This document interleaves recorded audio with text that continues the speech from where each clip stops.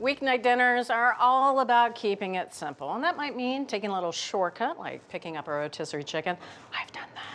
Or it could mean keeping the prep and the cooking method to a minimum, and that's what we're doing today. We're making a one pan dinner where you cook the protein, the starch, and the vegetables in one pan, right? Uh, yep, it's called a sheet pan dinner. And they're all the rage these days. You see them all over. But the problem is, you can't just throw all your favorite ingredients on a sheet pan, shove it in the oven, and expect it to turn out right. They all have different cooking times. And so that's what you really have to pay attention to. And that's what we're going to look at today.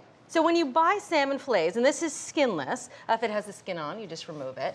And it's better if you don't buy the fillets individually cut, but you cut them yourself. That way you know they're from the same piece of salmon, so they're gonna cook at the same rate, and you can judge the size better. Great. So this is about a two pound fillet. That'll give you four eight ounce fillets. Okay. And first I'm gonna cut it into four fillets by cutting it in half. Then we're gonna cut each half in half for a total of four pieces. Pat it dry, and all it needs is a little bit of oil and a little bit of salt and pepper. Here is two teaspoons of extra virgin olive oil, and we're just gonna rub it all over the fish on both sides. A little rub down. A little rub down before his sauna. Here we're just gonna season it with a little bit of salt and pepper. Now I'm just gonna put these on a plate and let them hang out in the refrigerator until we're ready for them. That way they stay nice and fresh because it's gonna go on the sheet pan last. Okay. All right, so into the fridge it goes. With that tucked away, it's time to start with the potatoes and the broccoli. But first, sheet pan, the star of the dinner. You need it for a sheet pan You do. And so it's a nice big uh, sheet pan. It's about 11 by 18, gives you plenty of surface area to work with. Also, notice it has nice size. Don't use a rimless baking sheet here. All the juices will come all the way off all over the bottom of the oven. so don't do that. Don't do that. No, we're just gonna prep the sheet pan with a tablespoon of oil. We're just gonna brush it on nice and evenly. So starting with potatoes, now the size of the potato matters. You want small potatoes that are about an inch, inch and a half in size. And if you use red potatoes, you don't need to peel them. One less prep you have to do. And we're just gonna cut them in half. That'll help them cook more evenly and it gives you that, that nice surface on the bottom to get good and Nice. brown. Mm-hmm. But you do want to use waxy potatoes in a situation like this because they will hold together better than something that's starchier like a russet. That's right. We're gonna add a tablespoon of olive oil and half a teaspoon each salt and pepper. All right, so I'm just gonna toss this around. Onto the sheet pan they go. I'm gonna flip them all cut side down. They all have enough room around each little potato so they can get good and brown all the way around. That's it. Onto the broccoli. Now, these are broccoli crowns. We love using whole uh, bunches of broccoli because those stems taste good, but the stems, trying to incorporate them into this fussy cooking time, not so easy. so for this, buy crowns, trim off the bottoms, and very often there are some dry pieces on that stem. So I'm just cutting these down into about two inch size florets. I love roasted broccoli. Yeah, you're not much of a broccoli lover at all, but roasted broccoli, Julia told me one time, was a complete game changer for Yeah, her. it tastes like popcorn. We call it popcorn broccoli in our house. We call it potato chip broccoli. Oh, anything to get the kids to eat broccoli, right? All right, so into the bowl, a little more oil, tablespoon, quarter teaspoon of salt. Potatoes got a half, broccoli gets a quarter. Quarter teaspoon of ground pepper. We do the tossy tossy. You want to make sure it's all good and coated. All right, onto the sheet pan it goes. Now, the last trick I've got up my sleeve is a hot oven, 500 degrees, because you really want to maximize the heat to get these things brown quickly. Into the oven. Thank you. You're welcome.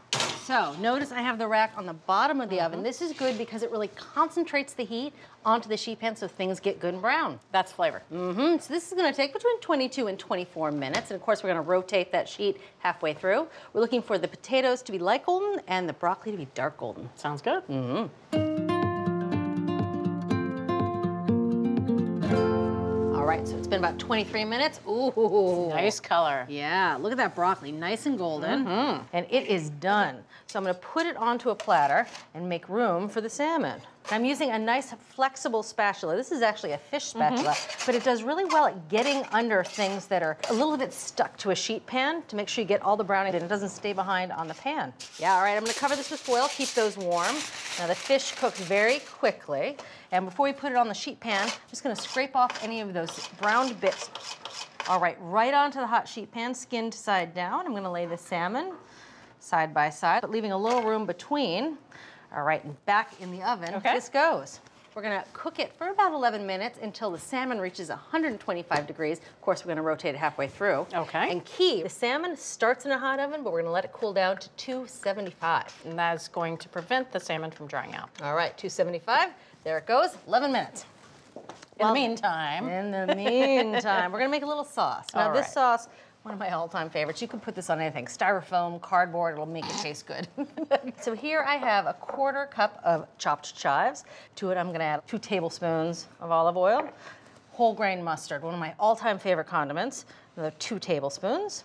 A little lemon juice. This is two teaspoons of fresh lemon juice. Mm. Last but not least, a little honey, a little something to balance all that mustard. And this is just a teaspoon of honey. A little salt, a little pepper. You want to taste it or do you want to be surprised? I want to be surprised. All right. So we're just waiting on that salmon. All right. All right. Oh, doesn't that look good? Beautiful color. Cook the salmon until it reaches 125 degrees. So let's take a temperature here of this salmon. Always a good idea to check the salmon or anything that you're checking right in the thickest part of the meat. That's it. And she's done. All right. So now we're gonna transfer all this loveliness to a nice big platter. Ooh, look at those potatoes. Yes. You see that? That's what you're after. Oh, those potatoes look good enough to eat. I love it when they get a little wrinkly on top. That's how you know they're nice and creamy on the inside. We call those Shar-Pei potatoes at home. I like that. and for the salmon, again, a fish spatula makes it nice and easy. really oiling the pan ensures that uh, salmon's going to come off. That's it. Last but not least, this long guy. little sauce on top. All right. Isn't she a beauty? Gorgeous. I mean, can you imagine pulling this out on a Tuesday night? You look like a rock star. I feel a little um, underdressed. All right, I'm gonna give you this nice end piece. Thank you. That was stunning. We're gonna get some broccoli, And I'm going to like it. and you are gonna love it. A few extra potatoes for you. Yeah. Dinner is served. Dinner is served. All right, I'm tucking in. Mm -hmm.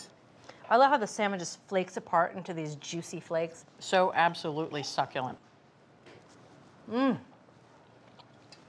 Ah, and the creaminess on the inside of those potatoes.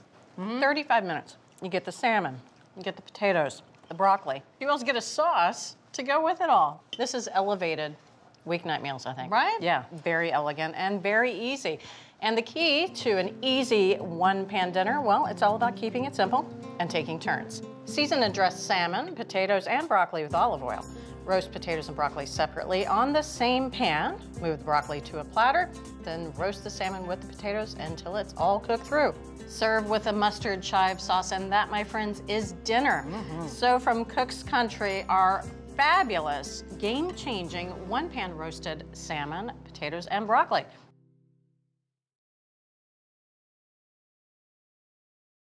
Thanks for watching Cook's Country from America's Test Kitchen. So, what'd you think?